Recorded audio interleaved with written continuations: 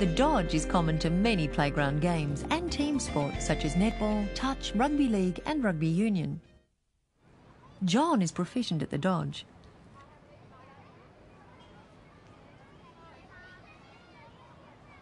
Notice how he changes direction by bending his knee and pushing off his outside foot. This allows him to shift his body weight rapidly to the other side. He changes direction quickly in one step. He lowers his body when changing direction. This lower centre of gravity gives him better balance. John's eyes are focused forward in the direction of travel. He can dodge equally well on both sides.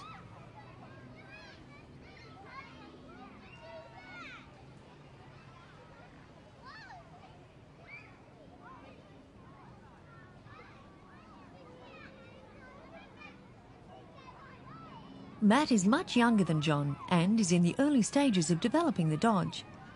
Matt takes two steps to change direction instead of one.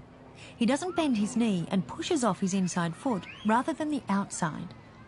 Matt also needs to lower his body when he changes direction to give him better balance. Crystal also needs to bend her knees when she's preparing to change direction and to push off her outside foot more forcefully. She needs to lower her body when changing direction and to focus ahead rather than looking down.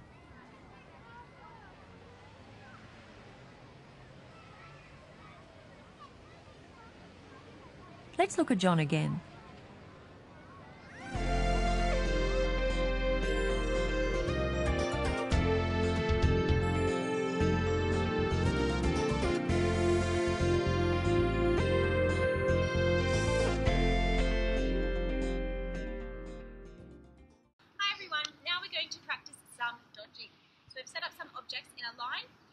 Going to run in and out of them using a dodging movement.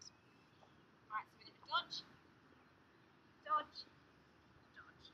Now it's your turn to set up your own obstacle course in your backyard.